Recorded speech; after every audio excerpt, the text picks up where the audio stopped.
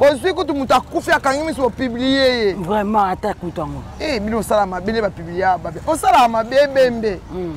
donc bolakisi mabe na ye donc abada bolakisi ke azalaka na ye mabe hmm. botala ndenge akomaata yo moko botala niveau moto akozala motema mabe vraiment nazo comprendre te eh?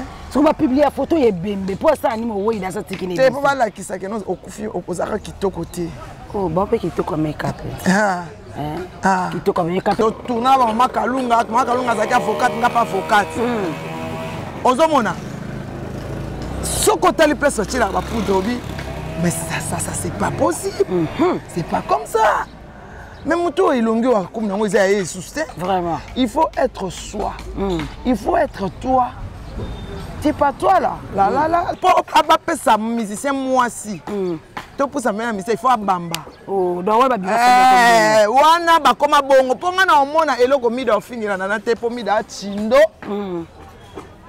aza na mwana azanga tata mm -hmm. nana c'est une femme mariée mm. aobota bana mm. pa makambo oyo ngai nafutela fali na poto wana na pari na fali azanga ndako meme basi balakisa yango oyebi ke bato balukaka balukaka defete afali bato balukaka motakala ya fali mutakala ya nana bato balukaka bamona ndenge marcosis asala kiclochard taka marcosis apesa mwana mwasi bizi bapiblia vraiment ebongo sikoyo akozanga ndako nde babomba ye ka amida moto ayebaki yango olo siki bombe bombe siki bombe bombe babi siki bombe danse makasi te siki bombe danse oh. kitoko tro siki bombe bombe siki bombe oh. bombe omoni e mambo ngai nasalaka bango bakokaka te mm. mwana ne ekutana na tata te ya na chambre moko ya bajoue mm. chambre moko ya mwana ye na ya ye mm. sikoyo chambre oyo balalaka na ye na papa na mwana eza te abi eza trois chambre eh, kasi bajoue te ye alalaka na bajoue ya mwana ya bajoue oyoki soni te naa na chambre moko bajoue yo oleki mondele na bajoue le okende na bino na mboka mondele okenda mpe passager clando okenda poto yango mpe direct ya clandestin ya ndambu ndambu balalilali yo na nzela onyokwami ah yango papa na ngai apesa ngai chance eh. na mata mpenza njili roisi charles de gaulle aloba no akende kodecortike yango je suis mal éduqué mm. ceux qui m'ont éduqué ils étaient mal éduqués non nafingi descendance na bino ozo comprendre nafingi descendance na bino toi tu es mal éduqué mais ceux qui t'ont éduqué ils étaient aussi mal éduqués amukuse ah, aa ah. ah, azala nde mukuse cindonga ya ebon apesa komolaya cindongo olingo welisa na nzoto afali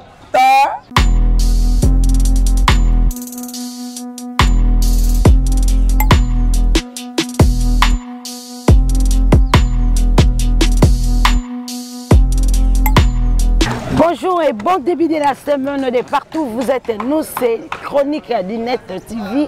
Eh, balobi soki makambo eza ya koloba il faut tolobela kaka Général Etumba de la presse. Je suis avec euh, Manike Général Etumba Mami Bonjour. Bonjour ma chérie. Bon début de la semaine. Merci à toi aussi pareillement. Merci. Lelo nasepeli komona yo susu. Nga nasepeli makasi. Oh manike bombe lelo namoya mpe komona yo lelo. Babi mikolo siki bombe bombe siki bombe bombe babi siki bombe danse makasi te siki bombe danse oh. kitoko trop siki bombe bombe siki bombe oh. bombe omoni hein. mambo ngai nasalaka bango bakokaka te hmm. avant de commencer nasengaka nzambe merci hmm. parce que tomoni euh, je dis mes condoléances à famille de diana makila même si je ne hmm. connaissais pas omoni aza envie te na minute oyo eloko ozogarde biso boye ezaka vie sans vie toya pamba yango nabandaka toujours na ye mai le grand prêtre jésus christ de nazareth babi grand prêtre kimbangu mystique mm. donc euh, ya bino yango wana merci vraiment mpo na nanga na eloko te vi nanga kutu bino mo moto osimbi yango mm. naka na merci na pardon mm-hmm.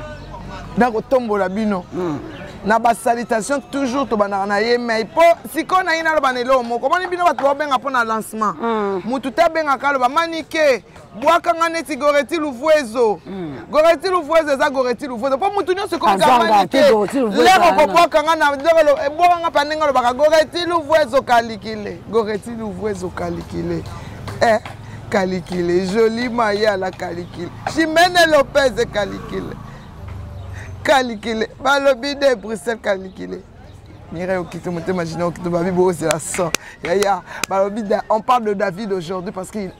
il avait fait tomber goliath mm. so akweisaka goliath te nde balobaka ne te mhm. sans programmation so banda semaine oyo oh. nakotisa fois semaine oyo mabangasemaine wana donc naoloba date te moko oh. toujours oyo naloba date oyo so ebima bato nyonso bakoganga mm. Mais là, on peut s'arrêter d'âge moko. Si on parle de David aujourd'hui dans la Bible, parce qu'il a fait tomber Goliath, mm -hmm. pour qu'on parle de, de, pour que tu sois un grand, il faut que tu fasses tomber un grand Mhm. pour qu'on commence à donner l'exemple hein, de ce que tu avais fait. Mhm. On parle de David aujourd'hui parce qu'il a fait tomber Goliath. Mhm. nanga nanga musicien te mais naobimisa date moko na musicien moko nga kaka son eh, ye album bolobi tro totala oh. oyo oh, manike nkombo na nga manike ituni mewanda ya majiga na maje general courant na bandal napesi adage si on parle de david aujourd'hui parce qu'il avait fait tomber goliath mm -hmm. so david abetaka goliath te mais aza na lisolo te na bible c'est ça hey. Eh. alors nga mpe mpo balobelaka masasi kalkile eti esili te ezaka ya pepe kale me mwana mwasi moko yaka kobimisa yango abimisaka yango date tel poto kinshasa tombe mhm. eh, eh. oke nango bongo voilà merci beaucoup manike opesi na moni opresente bacondoleance na yo na famille ya diane makila mais est ce que ezoyoka barimaire oyo esalika star na biso akufela oyoki yango quand même mpo oyo ozala youtubeur eh, me nga mpena barimer omoi nalanda yango te barimer nalandakasi dio seno yo oyoki akufi na nini yaya nzambe moto ayebi mambo akufeli yaya eh. oyo nyonso balobaka na pamba nzambe nde ayebi diana makila nazwi ye pourkui mhm.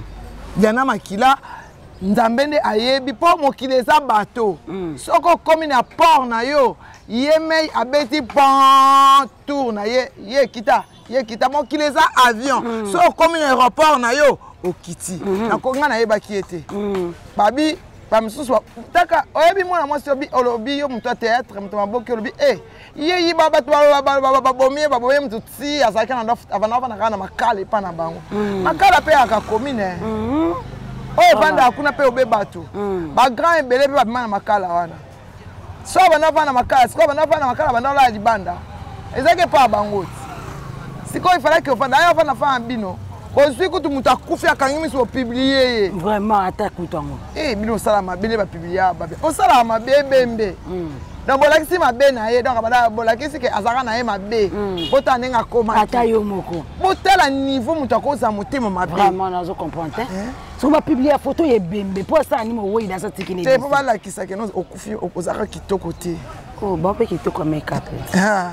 eh? ah. kitoko ameka mpe loba nango ata garde nani comédien moko alase challenge abi to batournage sans makeup sans poudre baoya te baoya te e eh, wana baoya te po modele bato wana batyelaka poudre olinga te eh. nga na tourna na bango mm. pièce oyo le euh, euh, ba tribunal oyo tosala na euh, que je salue euh, nani oyo ata ah, komona ezokima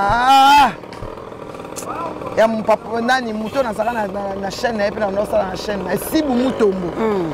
ozo comprendre mm-hmm. totourna na bamama kalunga mama kalunga azalaki avocate nga mpe avocate mm. ozomona soki otali place otyelaka bapoudre obi mais ça, ça, ça c'est pas possible mm -hmm. c'est pas comme ça mais moto oyo elongi oyo akomi nango eza ya ye lisusu te vraiment il faut être soi mm. il faut être toi c'est pas toi là là, mm. là là là quand tu me regardes là est-ce que c'est ton visage après ofingi manike ya fo nzele mm. tala manike bien wana ye tala mm. fo nzele de john eh? sans maquillage sans nini fo nzele ovolike mpe na miroir otali elongi naona yanga mpena ya yo eleki yanga na kitoko bwaka lokuta voilà manike makambo ya kosolola vraiment ezali ebele tomoni mida la taylor oyo azalaki warion mida niveau afingi ampere 4 120 k pardon fali ipupa dor nayebi te mpo batya ye kai soki mpo batombola ye to mpo na ni etanke warion yo esali yo ndeni mpo afingi mabe asangisi bana fali asangisi nana ketchup eza foti na ye afota bato bapesaki ye pouvoir hmm. ese soka fali abwaka mida taylor apostaka na instagram apostaka ye eh. ese alansa ye anasa ye te hmm. seke ayebi ye te bayebisaka ye kazwa foto ya fille otia hmm. omoni système ya babiro ekomi nini hmm. mpo motu aye commissionnaire aexplike motu akokota na ndako endako wana eza bien mhm. il faut ayeba eza na deux chambre trois salon mhm. donc mpo bapesa musicien mwasi mhm. topusa mpe na misai il faut abamba Oh, eh, wana bakoma bongo mpo ngai naomona eloko mida ofingelana na te mpo mida atindo mm. aza na mwana azanga tata mhm. nana c'est une femme mariée mm. aobota bana mm.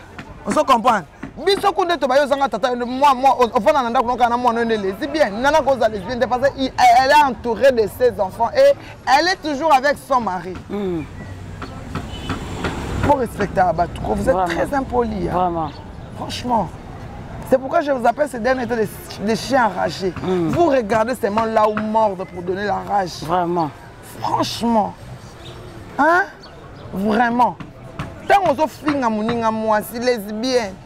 ezosala ndenge nini mama ya bana aza na bana ya mikolo mpe bakotaka youtube bayebi mpe lingala hmm. mpo bayesata tuna mama na bango nini mpo mama bango aexplike bango nini aza na bacousine aza na ba aboya ah, eya faute na ye te mi fali eza bato ayelaki bato hmm. yo so yoka nga na guerre nga na ken piana to trahi coran malgré ba nyonso malgré ba bloquer biso malgré tout malgré ko finga mm. malgré ko bengana mm. to yebi ke biso yela ka fali mm-hmm. soki edi ba dia to bengani nga na mm. opesa na nga fali faute te et sali volonté na yo soki obengani ngai nde liboso ya fali fali aréagir te wana mbamona ekeke na fali mais ntango fali azalaki na ye te aya ya obengana nga 50 fois obengana nga 1000 fois tanke fali alobi eloko mpo oyebi fali azalaka hypocrite te hmm. fali tomona na tv so alingi yo te aloba nalingi yo susu te koyaka te mpo hmm. fali aloba na nga manike koyaka te aosenga mikanda na parquet te aozwa mikanda na tribunal te hmm. aoloba na nga mbala moko mhm. ozo comprendre aloba na nga kuta alobaka na chubu parce que ntango nakota na solola na chubu tozala na langue genre ntango tokota tosolola na chubu alobi prese aa na kati so prese ayina ye nga chubu moto alinga bando obenganaa maître chubu azaka nsima ah, fani hmm. ozo comprendre aloba na besenga nde balondo sokoni hmm. sikoyo ye moko na basantimana omona ndenge balukela ye te ntango mhm. ozoloba makambo oyo ngai nafuta fali na poto wana na pari na fali azanga ndako meme basi balakisi yango oyebi ke bato balukaka balukaka defete ya fali bato balukaka motakala ya fali motakala ya nana bato balukaka bamona ndenge marcosis aosala kicloche ataka marcosis apesa mwana mwasi bizi bapiblia vraiment ebongo sikoyo ya kozanga ndako nde babomba ye ka amida moto ayebaki yango kamida ka yo moto oyebaki yango oya mpe mwana banda te oyeba mpe makambo afali ndeni e eh, joli mayala madame babi madame e eh, joli mayala madame e eh, bomoko bandal zenit aya ngiama etonda bomoko bandal mm. tosoutenir ngiama weranson mm-hmm. babi toujours bandal ekweya te paris ekweya te wana ya paris waka nsana wabeta na paris donc mm. paris ekweya te mm. bino bato boza kuna paris ekweya te mm. waka nsana wabeta na paris mm. toyokisa bango soni toujours nde toyokisaka kaka bango soni mm. voilà manike tozo continue kaka sikoyo omoni banini wana eza ke motu bapesaki confiance komona motu wana ndenge atrahi esali kitoko te epi kofinga ntina bana ndeti kokotisa bana bana basaleli emwana ekutana na tata te ya na chambre moko ya bajoue mm. chambre moko ya mwana ye na ya ye mm. sikoyo chambre oyo balalaka na ye na papa na mwana eza te abi eza trois chambre eh, kasi bajoue te ye alalaka na bajoue ya mwana ya bajoue oyoki soni te naa na chambre moko bajoue mm. yo oleki mondele na bajoue te okenda na bino na mboka mondele okenda mpe passager clando okenda poto yango mpe direct ya clandestin ya ndambu ndambu balalilali yo na nzela onyokwami ah yango papa na nga apesa nga chance eh. na mata mpena njili roisi charles de gaulle nakota na mpe mpena na njili nasala 8 heures du temps likolo na kita mpena na roisi charles de gaulle ah vie john soda papa na nga soda napesi bandeko na nga nyonso basalamu nalingaka bino mingi ngai mpo na nga ngai mpe mpo na biso poto ya clando yango mona atile oyo nafanda awa baya na nga okanga naketi okiti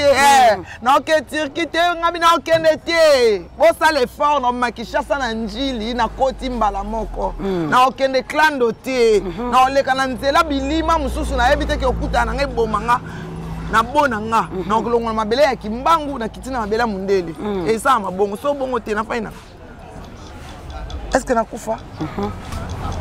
ya bango wana baose debrouille bango baose debrouille nazwa visa ya reprochement familial lokola nanga mo awa kobeta lisolo mutu te so oyebi mutu te ntango ofingaka manike manike na niveau na yo te hmm. nabeti 1 million de vue deux fois masasi calcule 1 million de vue otala ata 100 000 mokoni nabeti 1 million de vue na challenge ya masasi calcule 1 million na bachinois babini ayeba eloko obina tika masasi kaliye tika masasi kalikili to ye mpo na ye kaka eloko nde ka esali elengi bilenga ndenge wana de john kaka bilenga ndenge wana e eh, yankatuku l'ingénieur mosakoli moto na nzambe immeuble e mobali ya molai ya mbilinga ya kitoko e katuku e yaya nzambe aza na bana na ye bomoni nzambe aza na bana na ye nzambe aza na bato na ye mpe oyo alingaka mingi nzambe alors bosalaka na nzambe wana bablage te neti nga mpe na manike nzambe alingaka nga hmm. même si tu ne crois pas mais moi je sais en qui je crois mm -hmm. nayo boya na yo me ngai na kati na ngai nayebi keno na mwana nzambe hmm. naa na ngai na besoin croire na ngai te parce que même temps tokufa toyebana na susu te hmm. tant tokufa ko papa na mwana baoyebana te hmm. mwana okota lifelo papa okota paradis bayebani na bango susu te moto donc ozofinga motu sans olakisa mpena oa fille moko mal éduqueepuis ceux qui t'ont éduqué ils étaient aussi mal éduqué oyebela oyo naoloba no akende kodécortique yango je suis mal éduqué mm. ceux qui m'ont éduqué ils étaient mal éduqué non nafingi descendance na bino ozo comprendre nafingi descendance na bino toi tu es mal éduqué mais ceux qui t'ont éduqué ils étaient aussi mal éduqués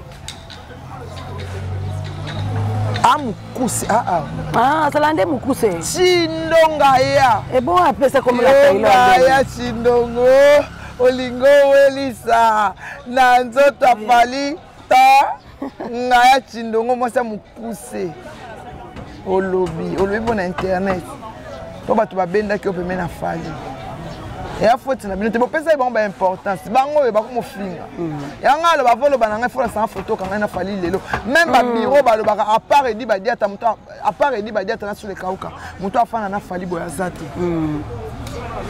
onga intel yo intel okanga omona fali mokolo nini mhm. biso towelelaka soki aye aye répétition toye na repeta mpo na ndako na ye okanisa alali alali na cité du fleuve mm. bino bato bozolinga so bamusicien bapusana pembeni na bato te likolo ya mm. kofinga mm. ta journaliste autofinga kofilmnalingaki totuna mpe question yango par rapport ya propos bato propos wana mais ye obe eza foti na ye te foti ya eyokaka foti foti ya legende ya musique ya africain kofi olomide alekaki na émission adoyuyoe ye nde moto abandaki mapropos ya mabe par rapport na ye oyebake kofi olomidasi kali misie moko mokolo totikali na ye fo mm. tobatele bien mm. bapropane ndenge wana ekobome mpe na avc vraiment sikoyo susu yango tozala nango teke totika na quadra abeta 40 ans de succès jo wana baofinga 40 mm. ans moto abwaka ye moto ya liboso na vi na ye kofi mhm. journaliste wana moto abwaka ye kofi yaya na veste no mabe olataki wana ofinga kofi kofi oyebike kofi ya garçon à paris mhm. kofi abanda miziki ne na poto veste wana ataki ezalaki mabe eh, bongo fa veste kitoko yalaka bongo yo mpe ah, ah. veste kitoko yalaka bongo ale jiga alata veste ye mpe alata veste kokwa cravate makizembe alati veste ye mpe alati veste ah. mela bikofa alati veste ye mpe alati veste eh? ata yo moko ata yo moko veste wana bino moni yango ya bien ive bonga alati veste epe alati veste eh, serge tunimi alati veste veste wana omonaki yaki ya bien ah wana nga o tala moni vie bokula kufa nde bokula ngai bamoni na ngai nayebisaka gwepa nde bokula wana opesa bajournaliste wana tante mpo hmm. bayeki bajournaliste wana bango bato balalelaka bango basi hmm. bona ba journaliste te wana bamikala nga yango natunaki estce obandaki journaliste na journal télévisé mpo toloba matoyebaki ozalaki journaliste ya mayele obandaki kaka na miziki biso na bino le poisson de meme kikalungu le fufu de meme mbadi bomonaki kuna na nani na tv bafutaka te internet o flatter mokolo aye mao flatter ao flatter fali abiye fali aproposa eloko te aye atravaille pa travaillaka te pa fali papa ah. aproposa eloko te nga nasepelaka place abaki fali aza grand lelo hmm. na lobi so fali asili ofinga ye hmm. Hmm. bango bazala bongo eh, kasi afingi kofi ya yanga journaliste wana azela interview pa kofi de 8 heures à 23 heures kofi aboya okoti na ma campagne hmm. journaliste wana ok donc bato moko ya kala ah, bapole mokendi e hmm. bon c'est la vie hein. c'est la ah, vie ah. c'est la vie toi na suna eloko aloba tu vas continuer esali yo ndenge nini komona moninga journaliste amanke respect na oyo kutu yango oza papa ya motu aza papa ya bana ebele aza eh, père de nation parce que mizoki ne binisa ebinisa mpe continua kaka kobinisa lelo mais ye ateni bapropo moko eza ya mabe kasi ezonga bacamerouna nde bakoma ofinga te sikoyo ngai sikoyo eloko yango namona yango mabe nango kaka na makambo wana nyonso bafali moto atindi ye eh, ok ata mosusu azolakisa fali keno ngai nalingaka olinga oh, mm. fali okolekanana bino nde bozopesa fali baidentité ya mabe mm, badora mutu te badora nzambe fali c'est pas un dieu yango akima bino akoma camarade ya bagims ya badaju vraiment po ayebi bino yo mokoni omona fali deja banda fali akepo tomoni ye depuis quand sonie kolo na veste mpe eh, veste surtout abanda koya quartier mm. latin mm. na pantalon moko ya noir mm. arepasse na bougie pantalon noir omoni soki enzuki so arepasse yango na bougiengelaka sikotala moto ndenge wana afingi motu oyo apesa ye makambo oyo alansa ye moto ya liboso tala niveau ya ingratitude sikoyo toloba nini Kofi Olomide, c'est un légende. Mm. Kofi Olomide, c'est notre musicien, c'est notre grand du Congo. Voilà. Pourquoi ba propos ya ndenge wana soki bobi omanike mpo bobi omanike kofi olomide afuti kofi olomide afuti ngai lote ngai na kofi tolobana na biso te hmm. apumelanga mbote boyebi yango hmm. mbote kofi apumelanga na matanga na matanga te na na na, na saint james kuna place bakenda kosala échange de vue apimela mm. ngai mm. mbote naloba ngo ntina internet enginda ngai na ye donc kote wana bokosi deja ngai nakofitolobana te et puis de deux kofi olomide est ce que yo oza na yaya lokola kofi mm -hmm. yo otangi classe koleka kofi mm -hmm. kofi azalaka déjà bien afa bien ezala mm -hmm. eh. moninga moto nayebi ke bino bozalaka bato ya bakanoko ya komona ya mwana ya mesien te bosalela oyo te moto abimisaka moto ya nzambe bosala eloko to youtube eseye aso fini nga na tv na oke na réseau sociaux kutu monde entier etali mbala moko etali mbala moko vitesse naoya kuna te hmm. naoya kuna te kuna mosala ezanga salaire yango bokoma koyina biso okoma bamikala bafa bamikala abanda komemela bamise basaki eh, na age na ye na taini wana wana nzoto mikie te hmm, ada monene yango kana okala te awa kala te awa flatere eh? ta ndenge oflate fali olingi olakisa fali kolingi ye mingi so olingaki ye mingi olingaki obanda kointerviewe ye makasi ntango azali na quartier latin hmm. olingi ye kaka kala te awa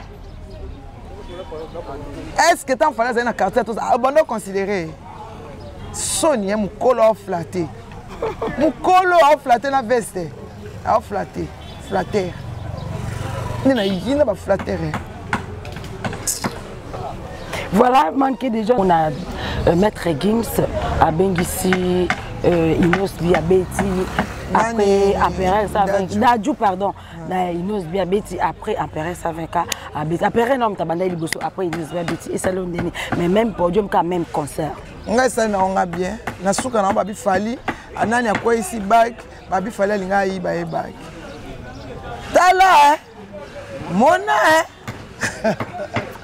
ah congolais félix parti be tokokitisa na soso te zwa ntan congolais abongisa motema na ye po ata soso ekomi 20 francs so mitema ya bien te baolukela o rubrique amoni moto ya yambo te azalaki combattant lelo akoma aza na parti nini mpo combattant moto aza na pouvoir sikoyo yo okoma ofinga oa na parti nini mm. eyebani te mm -hmm. congolais sans position vraiment biso nyonso tozalaka soma ekebokeboso ezongi bozongi moto oyo lelo ye azokumisa uta quartier latin poto na ye ya liboso mosala yango asala yango na quartier latin ekofi amema ye na poto mm. soki ekofi azali moto yamba alinga afina Hey, eh, avant de regarder le présent, il faut regarder le passé.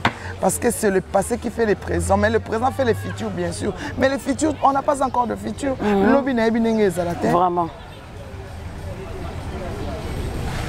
Ozo finga lelo ya kwata. Ofingi lobi na ye te poana.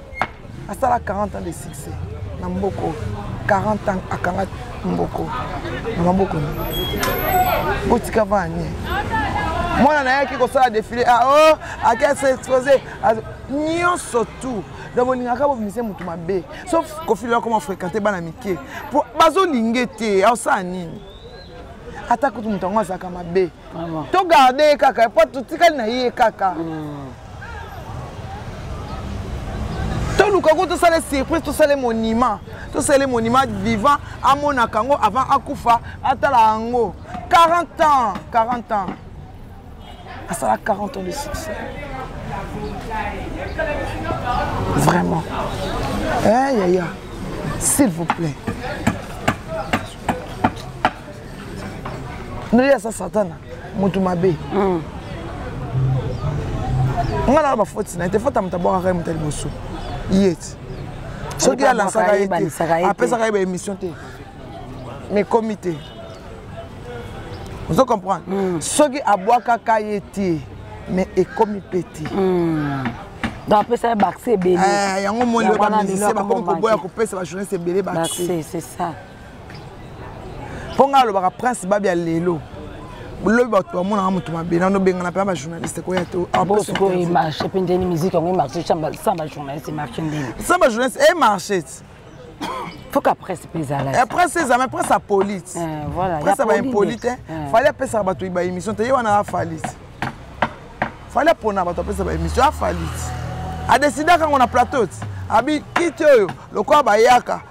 komanke ngai na kiti oyo naoleka su na bachaine te aboyaka na ye mm. abima te abimisa tokos eh, ezwi diske dor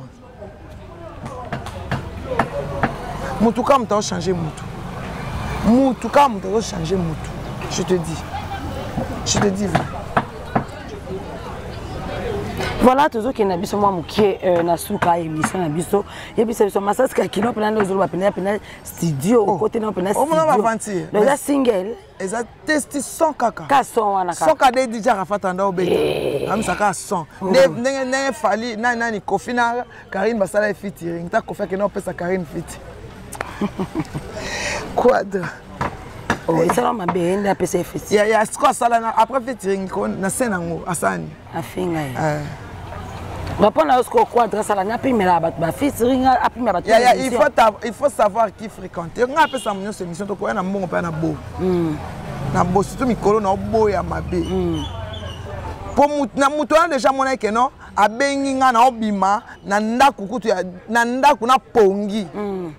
tellement insistant ayese émission ofuta 50 dollar andimi mais alobi namelaki bombe place namelaki bombe eza te na oporte yo plainte ozanga comment se justifie na obima motu mabe lokola ngai nananga kipamvita na nzela nkongo tokangisaka bato te natikeli ye balongo mm. basa charge na ye mm. na bisimbi mm. ye atalama totala oh. ekomi ya bongo so otie balongo wana ekoma mabe bakoko eh, eh, natikeli ye bakoko so batema ekoma mabe natikeli ye bakoko émission liboso asali na vie na ye oyo ebeta 30 000 vues oyo asala na nga asala so émission ya bien te na vie na ye oh batala ye sikoyo na se nango omoni teke nosubasima ebebi déjà vanaka manike hmm. babi nameli bombe nasali hmm. sikoyo siki bombe siki bombe siki bombe bombe danse makasi te bombe danse kitoko tro bombe siki bombe bombe siki bombe eh. yokosalela mbamamanix eh, de john bombe eh. omona na tiktok to omona siki bombe bombe siki bombe bombe danse makasi te bombe danse kitoko tro bombe siki bombe bombe siki bombe Voilà. Merci maman. Opesi nga TikTok. Oh. Eh mo bo sepeni na ngo. Na makasi. Moi te mikoba benga manike bombe. Oki de na succès te manike bombe. Mais c'est pas bien ya ode ya kozwa moto ça une émission. La personne était malade, yo siko comment oloba meli bombe. Yo ko to kutanga to sana émission liboso kutanga pa na meli déjà. Kati kati akaze ya Bonfort. Mais tosala no émission. Tosala no émission, oui. naosala émission na bamilangi na ngai na se naomela kaka yo ozoloba na ngai ti koko raponga bino orépondre bien na émission wana bazwa kaka parti wana ti lelo bato batala yango en entier te ntango bato batala yango en entier bamona ye mbamo ozoba mais comment moto asala émission ya 40 minutes orépondre bien aza na baeta na ye nyonso mm. pos moto aza na kwiti ano répondre yo olobi ne gauche alobi droite voilà manike tokoma mwa mosuki na suka ya émission na biso mhm. euh, mo par rapport ya bato bazotala biso euh, mwa oyebisi bango nini batelespectateur oyo balingako mingi epuis euh, mbote na baye bayo nayebisi bango base en tout cas basabone massivement na chaîne na bino mm, chronique du net chronique du net chronique du net tv en tout cas ba s'abonner sous na manique de John Tokos officiel mhm. na chronique du net TV toyaka kolobaka kaka vérité mm. botaka mwasi yango ndenge aza mwasi ya kitoko donc bosabonne massivement bato baza na besoin ya lancement please 243 ya mushe ya willi musheni 90 43 16 621 voilà. mais sikoyo koloba na ngai teke bwaka ngai neti goreti luvuezozelaka libanga yaya libanga libanga ya masasi calcule eza sacré mpo etikala vi mobimba libanga masasi calcule ah chimel lopez chejonga na puidix me mpo kalata afishe ebima mm. kalata afishe ebima tokoya biso eh, bomona afishe ya kitoko mpena mpo na affiche na omitumba affiche eza mpe naozika oh. eh, naomitumba te bainnovation sika batumbaka nga na frontière aye mati moto atekaka nga ndeko na nga lewa nzinga nkufu babindele bapesi ye 20 alobi andoki nzoka nde nazalaki messager naka nde okima akangi nga bazwi mwana bato ya esclave batye nga na mokongo batye nga moto naye réincarnation mm. ya mwasi ya boye azala te mm -hmm.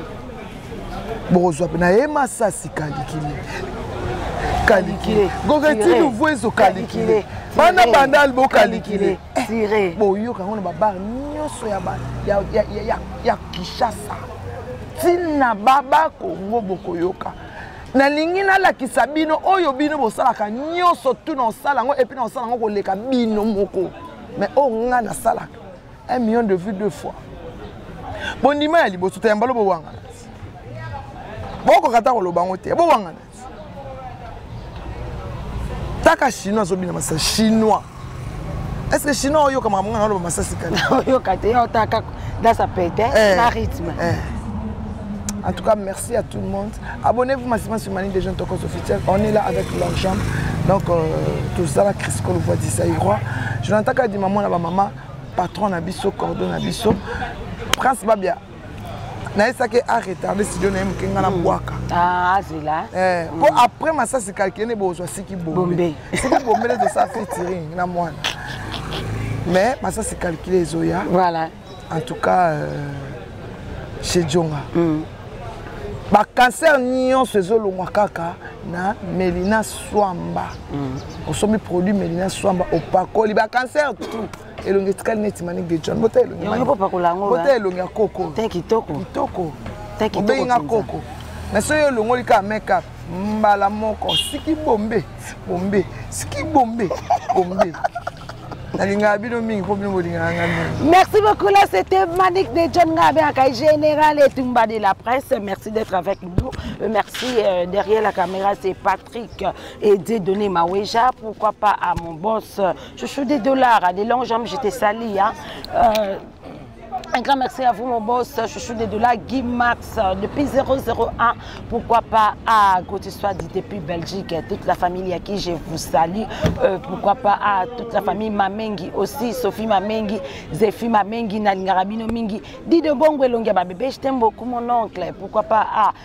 Baby Ngandu, la patrona. Hein, yo pendoza awa. Eh, balobi, la femme, c'est mon cœur. Nene Wechi, je te salue. Bon séjour à Kinshasa, Fifi Wechi, Héritier Minimbu, Matete Bomoko, et eh, Bebou Bebou. Sakalo Soya Gaillard, je te salue. Archie Moudiambou, euh, depuis Belgique, je te salue aussi. Ayel Nito, Ayel Nito, les patriages.